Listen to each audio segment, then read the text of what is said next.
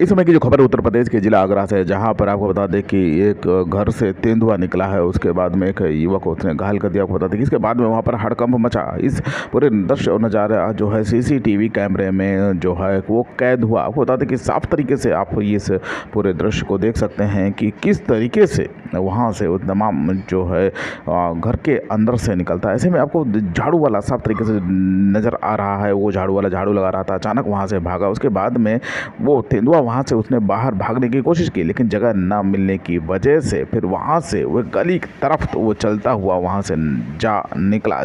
आप साफ़ तरीके से इस दृश्य को देख सकते हैं। आपको बता दें कि इस तेंदुए के निकलने के बाद वहाँ पर दहशत का माहौल आसपास फैल गया था। और ये भी बताया जा रहा है कि वो तेंदुआ एक दुकान में बंद हो गया, जिसके बाद में उसे पकड़ने के लिए फ़िलहाल अब ये बताया जा रहा है कि वहाँ पर तमाम जो है पुलिस बल वहाँ पर आ चुका है और तमाम उस जानवर को पकड़ने के लिए आपको बता दें कि टीमें भी आ चुकी हैं। फ़िलहाल अभी तक की जो अपडेट यही है कि उस तेंदुए को पकड़ने के लिए हर संभव कोशिश हो रही है। आपको बता दें कि इसमें बरसात का मौसम ऐसे में तमाम जो खुले जानवर जो हैं वो जंगलों से होते हुए शहर की तरफ़ रुक कर रहे हैं। ऐसे में बहुत ज़्यादा पैनिक होने की ज़रूरत नहीं है। आप सावधानीपूर्वक उन जानवरों को वहाँ से सूचना दे सकते हैं। एक जगह पर उन्हें बंद करके ताकि वो सुरक्षित वहाँ से वो निकाले जा सकें। आपको बता दें कि ऐसे में मौसम में तमाम इस तरीके से दृश्य और देखने को मिलती